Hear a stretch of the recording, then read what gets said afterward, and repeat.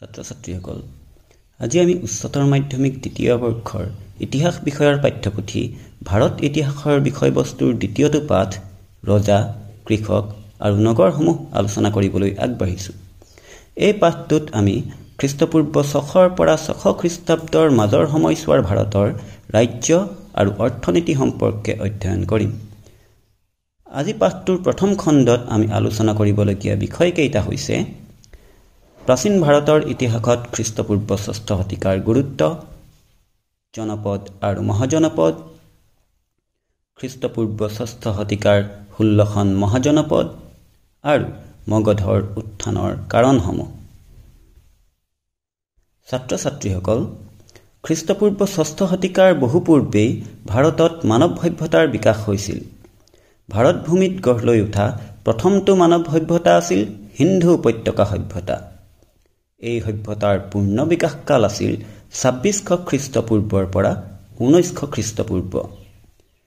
সিন্ধু উপত্যকা সভ্যতাৰ পতনৰ পিছত ভাৰতত বৈদিক সভ্যতাই গঢ় লৈ উঠে। বৈদিক সভ্যতাৰ বিকাশৰ কালচোৱাক ইতিহাসবিদসকলে দুটা ভাগত বিভক্ত কৰিছে। প্ৰথম কালচোৱাক কোৱা হয় আদি বৈদিক যুগ বা ঋগ বৈদিক যুগ। আদি বৈদিক যুগৰ সময়সীমা আছিল আনুমানিক পোন্ধৰশ খ্ৰীষ্টপূৰ্বৰ পৰা এহেজাৰ খ্ৰীষ্টপূৰ্ব। আৰু দ্বিতীয়টো ভাগক কোৱা হয় পৰৱৰ্তী বৈদিক যুগ। পৰৱৰ্তী বৈদিক যুগৰ আনুমানিক সময়সীমা এহেজাৰ খ্ৰীষ্টপূৰ্বৰ পৰা ছশ খ্ৰীষ্টপূৰ্ব। পৰৱৰ্তী বৈদিক যুগৰ শেষৰ ফালে মহাজনপদ হিচাপে পৰিচিত কিছুসংখ্যক ৰাজ্যৰ উদ্ভৱ ঘটিছিল। আজিৰ পাঠত আমি এই সময়ছোৱাৰ বিষয়ে আলোচনা কৰিম। খ্ৰীষ্টপূৰ্ব ষষ্ঠ শতিকাটো প্ৰাচীন ভাৰতীয় ইতিহাসৰ মহাসন্ধিক্ষণ বুলি অভিহিত কৰা হয়। এই সময়ছোৱাত ভাৰতীয় জনজীৱনৰ বিভিন্ন দিশলৈ পৰিৱৰ্তন আহিছিল। এইসমূহৰ ভিতৰত উল্লেখযোগ্য আছিল এই সময়ৰ পৰা ভাৰতৰ ধাৰাবাহিক ইতিহাস ৰচনা সম্ভৱপৰ হৈ উঠে।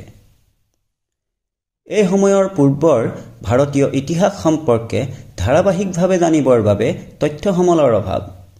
সিন্ধু উপত্যকা সভ্যতাৰ চিলমোহৰসমূহত খোদিত সাংকেতিক লিপিৰ পাঠ উদ্ধাৰ কৰিব পৰা হোৱা নাই। গতিকে সেই সময়ছোৱাৰ বিষয়ে জানিবৰ বাবে লিখিত সমলৰ যথেষ্ট অভাৱ। খনন কাৰ্যৰ ফলত উদ্ধাৰ হোৱা ভগ্নাৱশেষ আৰু অন্যান্য পুৰাতাত্ত্বিক সমলসমূহৰ ওপৰত নিৰ্ভৰ কৰিয়েই সিন্ধু উপত্যকা সভ্যতাৰ ইতিহাস ৰচনাৰ প্ৰচেষ্টা কৰা হৈছে। ঠিক একেদৰে পৰৱৰ্তী কালত গঢ় লৈ উঠা বৈদিক সভ্যতাৰ ইতিহাস ৰচনাৰ বাবেও মুখ্যতঃ ধৰ্মীয় গ্ৰন্থসমূহৰ ওপৰত নিৰ্ভৰ কৰিবলগীয়া হৈছিল যিবোৰত বহু কল্পকাহিনী সংযোজিত হৈ থকাৰ লগতে চন তাৰিখৰ উল্লেখ পোৱা নাযায়। কিন্তু ষষ্ঠ শতিকাৰ পৰা তাৰ পৰৱৰ্তী কালৰ ইতিহাস ৰচনাৰ বাবে পৰ্যাপ্ত সমল পোৱা গৈছে যাৰ ফলত এই সময়ৰ পৰা ভাৰতৰ ধাৰাবাহিক ইতিহাস ৰচনা সম্ভৱপৰ হৈ উঠিছে। দ্বিতীয়তে এই সময়ছোৱাতে ভাৰতত এক ধৰ্ম বিপ্লৱৰ সূচনা হৈছিল আৰু বৌদ্ধ আৰু জৈন ধৰ্মৰ উত্থান ঘটিছিল। বৈদিক যুগত প্ৰচলিত বৰ্ণবাদ আৰু ব্ৰাহ্মণ্যবাদৰ কঠোৰ নীতি নিয়মৰ প্ৰতি এই সময়ছোৱাত বিভিন্ন শ্ৰেণীৰ লোক অসন্তুষ্ট হৈছিল। বৰ্ণ ব্যৱস্থা কৰ্মভিত্তিক নহৈ জন্মভিত্তিক হৈ পৰিছিল। এই ব্যৱস্থাত ব্ৰাহ্মণসকলে সৰ্বোচ্চ স্থান আৰু প্ৰভাৱ বিস্তাৰ কৰিছিল। ফলস্বৰূপে অন্যান্য তিনিটা বৰ্ণৰ লোক অসন্তুষ্ট হৈছিল। তদুপৰি ব্ৰাহ্মণ্যবাদত প্ৰচলিত ব্যয়বহুল যাগযজ্ঞ বলিপ্ৰথাৰ জৰিয়তে পশুধনৰ হানি আদিক লৈ সাধাৰণ শ্ৰেণীৰ লগতে ক্ষত্ৰিয়সকলো বিতুষ্ট হৈছিল। তদুপৰি এই সময়ত হোৱা অৰ্থনৈতিক পৰিৱৰ্তনো ধৰ্ম বিপ্লৱৰ কাৰণ আছিল। এনে অসন্তুষ্টিৰ পৰিণতিস্বৰূপে ব্ৰাহ্মণ্যবাদৰ বিৰোধিতাৰে অহিংস নীতিক ভিত্তি হিচাপে লৈ বৌদ্ধ আৰু জৈন ধৰ্মৰ উত্থান ঘটিছিল যি ভাৰতীয় সমাজ জীৱনলৈ পৰিৱৰ্তন কঢ়িয়াই আনিছিল। এই সময়ৰ পৰাই লুৰ ক্ৰমবৰ্ধমান ব্যৱহাৰ নতুন নতুন নগৰৰ বিকাশ কৃষি পদ্ধতিৰ উন্নতি মুদ্ৰাৰ বিকাশ আদি সংঘটিত হয়। এই সময়ছোৱাত কৃষিক্ষেত্ৰৰ লগতে অস্ত্ৰ শস্ত্ৰ নিৰ্মাণ আদিতো লুৰ বহুল ব্যৱহাৰ হ'বলৈ ধৰে। খ্ৰীষ্টপূৰ্ব এহেজাৰ বৰ্ষমানৰ পৰাই ভাৰতত লুৰ ব্যৱহাৰ আৰম্ভ হৈছিল আৰু খ্ৰীষ্টপূৰ্ব ষষ্ঠ শতিকাত ই চৰম পৰ্যায় পায়। কৃষিক্ষেত্ৰত লোৰ ব্যৱহাৰে উৎপাদন বৃদ্ধি কৰে যাৰ ফলত অৰ্থনৈতিক উন্নতি সাধিত হয়। তদুপৰি এই সময়ৰ পৰা হোৱা মুদ্ৰাৰ বিকাশ আৰু ব্যৱহাৰে ব্যৱসায় বাণিজ্যৰ শ্ৰীবৃদ্ধি ঘটায়। ফলস্বৰূপে পূৰ্বৰ জনজাতীয় গোটসমূহৰ আকাৰ ক্ৰমান্বয়ে বৃদ্ধি পায় আৰু ভাৰতৰ বিভিন্ন প্ৰান্তত নতুন নতুন নগৰ গঢ় লৈ উঠে। যিহেতু ভাৰতৰ প্ৰাচীনতম সভ্যতা হৰপ্পা সভ্যতা এক নগৰীয়া সভ্যতা আছিল গতিকে হৰপ্পা সভ্যতাৰ বিকাশৰ সময়ত হোৱা নগৰীকৰণক ভাৰতৰ প্ৰথম নগৰীকৰণ বোলা হয়। সেইবাবে খ্ৰীষ্টপূৰ্ব ষষ্ঠ শতিকাত আৰম্ভ হোৱা নগৰীকৰণক দ্বিতীয় নগৰীকৰণ বোলা হয়। তদুপৰি এই সময়ৰ পৰাই ৰাজ্য গঠন প্ৰক্ৰিয়া আৰম্ভ হয়। কৃষি আৰু ব্যৱসায়ৰ বৃদ্ধিয়ে যি দ্বিতীয় নগৰীকৰণৰ সূচনা কৰিছিল সি ৰাজ্য গঠন প্ৰক্ৰিয়ালৈ ৰূপান্তৰিত হৈছিল। এই নগৰসমূহক কেন্দ্ৰ কৰিয়ে একো একোখন বৃহৎ আকাৰৰ ৰাজ্য গঢ় লৈ উঠিছিল। পূৰ্বৰ জনজাতীয় জীৱনশৈলীৰ বিপৰীতে ষষ্ঠ শতিকাত গঢ় লৈ উঠা এই ৰাজ্য ব্যৱস্থা অতি গুৰুত্বপূৰ্ণ আছিল। এই সময়ত এনেদৰে গঢ় লৈ উঠা ৰাজ্যবোৰকে মহাজনপদ বুলি কোৱা হৈছিল। মহাজনপদ শব্দটো আহিছে জনপদ শব্দৰ পৰা। জনপদ শব্দৰ অৰ্থ হ'ল জন মানে হ'ল জনগণ বা গোষ্ঠী বা জনজাতি আৰু পদ শব্দৰ অৰ্থ হ'ল ভৰি। অৰ্থাৎ যি ভূমিত এটা মানৱ গোষ্ঠী বা জনজাতিয়ে পদাৰ্পণ কৰি বসতি কৰে সেই ভূমিকে জনপদ বোলা হয়। এনে জনপদসমূহৰ আকাৰ কালক্ৰমত বৃদ্ধি হৈ মহাজনপদৰ ৰূপ লৈছিল। অৰ্থাৎ বৃহৎ আৰু শক্তিশালী জনপদসমূহকে মহাজনপদ বোলা হৈছিল। বৌদ্ধ সাহিত্য যেনে অংগুত্তৰ নিকায় জৈন সাহিত্য যেনে ভগৱতী সূত্ৰ আদিত খ্ৰীষ্টপূৰ্ব ষষ্ঠ শতিকাৰ ভাৰতত বৰ্তি থকা এনে ষোল্লখন মহাজনপদৰ উল্লেখ পোৱা যায়। এই মহাজনপদসমূহ আছিল অংগ মগধ ব্ৰিজি মল্ল কাশী কুশল কম্বুজ গান্ধাৰ কুৰু পাঞ্চাল বচ্চ মৎস্য চেদি সুৰসেন অস্মক আৰু অৱন্তী। এই মহাজনপদসমূহ মুখ্যতঃ উত্তৰ ভাৰতৰ বিভিন্ন প্ৰান্তত গঢ় লৈ উঠিছিল। মহাজনপদসমূহৰ অধিক সংখ্যকেই ৰজাৰ দ্বাৰা শাসিত আছিল অৰ্থাৎ ৰাজতন্ত্ৰ আছিল। যিবোৰ গণ বা সংঘ নামে জনা গৈছিল সেইবোৰ জোট শাসনাধীন আছিল।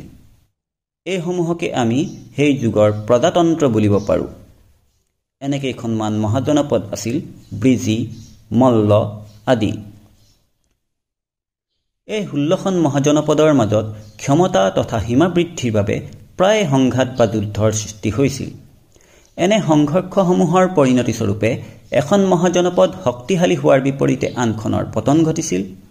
সৰ্বশেষত অন্যান্য মহাজনপদসমূহক নিজৰ অধীনলৈ আনি একমাত্ৰ শক্তিশালী মহাজনপদ হিচাপে উত্থান ঘটিছিল মগধৰ আৰু মগধতে ভাৰতৰ প্ৰথমখন সাম্ৰাজ্য গঢ় লৈ উঠিছিল। মগধৰ এই উত্থানৰ আঁৰত বিভিন্ন কাৰকে ক্ৰিয়া কৰিছিল। মগধৰ উত্থানৰ অন্যতম কাৰণ আছিল মগধৰ ভৌগোলিক অৱস্থিতি। মগধ বৰ্তমানৰ বিহাৰত অৱস্থিত আছিল। মগধ প্ৰকৃতি প্ৰদত্ত সুৰক্ষাৰে সুৰক্ষিত এখন নদীমাতৃক ৰাজ্য আছিল। মগধৰ এফালে আছিল পৰ্বতমালা আৰু আনফালে গংগা আৰু ইয়াৰ উপনৈসমূহ। এই পৰ্বতমালা আৰু নদীসমূহে মগধক প্ৰাকৃতিকভাৱে সুৰক্ষা প্ৰদান কৰিছিল। উদাহৰণস্বৰূপে মগধৰ প্ৰথম ৰাজধানী ৰাজগৃহ পৰ্বতেৰে আগুৰা আছিল। একেদৰে মগধৰ দ্বিতীয় ৰাজধানী পাতলীপুত্ৰ গংগা আৰু ইয়াৰ উপনৈ সোণ নদীৰে আগুৰা আছিল। এনেদৰে মগধৰ দুয়োখন ৰাজধানীৰ ভৌগোলিক অৱস্থিতি অতি গুৰুত্বপূৰ্ণ আছিল আৰু প্ৰতিৰক্ষাৰ ফালৰ পৰা অতি সুৰক্ষিত স্থানত অৱস্থিত আছিল। মগধৰ উত্থানৰ অন্য এটা কাৰণ নাছিল মগধ খনিজ সম্পদত চহকী আছিল। মগধত প্ৰচুৰ পৰিমাণে লো পোৱা গৈছিল এই লো কৃষি উৎপাদনত সহায়ক হোৱাৰ লগতে অস্ত্ৰ শস্ত্ৰ নিৰ্মাণতো সহায়ক হৈছিল। তদুপৰি মগধৰ সাৰুৱা কৃষিভূমিয়েও উৎপাদন বৃদ্ধিত অৰিহণা যোগাইছিল। মগধ বনজ সম্পদতো চহকী আছিল। মগধৰ হাবিত প্ৰচুৰ পৰিমাণে কাঠ পোৱা গৈছিল যিবোৰ যুদ্ধ জাহাজ নিৰ্মাণত সহায়ক হৈছিল। তদুপৰি মগধৰ হাবিত হাতী পোৱা গৈছিল। ফলস্বৰূপে হস্তী বাহিনী গঠন সহজ হৈছিল। সেই সময়ছোৱাত হস্তী বাহিনী ৰাজ্যৰ সৈন্যবাহিনীৰ এক প্ৰধান অংগ হিচাপে গণ্য কৰা হৈছিল। তদুপৰি মগধ ব্যৱসায় বাণিজ্যটো চহকী আছিল। গংগা আৰু ইয়াৰ উপনৈসমূহৰ জৰিয়তে বাণিজ্যৰ বাবে সুচল যাতায়াতৰ ব্যৱস্থা আছিল। ফলস্বৰূপে ব্যৱসায়ৰ শ্ৰীবৃদ্ধি ঘটিছিল যি মগধৰ অৰ্থনীতি টনকিয়াল কৰিছিল। শক্তিশালী অৰ্থনীতিয়ে মগধৰ ৰাজনৈতিক তথা সামৰিক উত্থানত বিশেষ সহায় কৰিছিল। মগধৰ উত্থানৰ আন এটা উল্লেখযোগ্য কাৰণ আছিল সুযোগ্য আৰু শক্তিশালী শাসকবৃন্দ। মগধৰ সুযোগ্য আৰু শক্তিশালী শাসকসকলৰ নেতৃত্বই মগধৰ উত্থানত গুৰুত্বপূৰ্ণ ভূমিকা পালন কৰিছিল। হৰ্ষাংক বংশৰ বিম্বিষাৰ আৰু অজাতশত্ৰু নন্দবংশৰ মহাপদ্মনন্দ আদি শক্তিশালী শাসকৰ সবল নেতৃত্বই মগধৰ ৰাজ্যৰ পৰিসীমা বৃদ্ধিৰ লগতে মগধক অৰ্থনৈতিক আৰু সামৰিক দিশত শক্তিশালী কৰিছিল যাৰ ফলত মগধ ষষ্ঠ শতিকাৰ সৰ্ববৃহৎ আৰু শক্তিশালী মহাজনপদ হিচাপে পৰিগণিত হৈছিল। এই কাৰণসমূহৰ সমন্বিত পৰিণতিস্বৰূপে মগধ খ্ৰীষ্টপূৰ্ব ষষ্ঠ শতিকাৰ ষোল্লখন মহাজনপদৰ ভিতৰত একমাত্ৰ শক্তিশালী মহাজনপদ হিচাপে গঢ় লৈ উঠিছিল। আজি আমি আলোচনা কৰিবলগীয়া বিষয়সমূহো ইমানখিনিয়েই। কেইটামান গুৰুত্বপূৰ্ণ প্ৰশ্নৰ সৈতে আজিৰ পাঠ সামৰণি মাৰিবলৈ আগবাঢ়িছোঁ। আশা কৰিছোঁ তোমালোকে প্ৰশ্নসমূহৰ উত্তৰসমূহ শুদ্ধকৈ কৰিবলৈ সক্ষম হ'বা। পৰৱৰ্তী পাঠত আমি মৌৰ্য ইতিহাসৰ সমলসমূহ সম্পৰ্কে অধ্যয়ন কৰিম। ধন্যবাদ।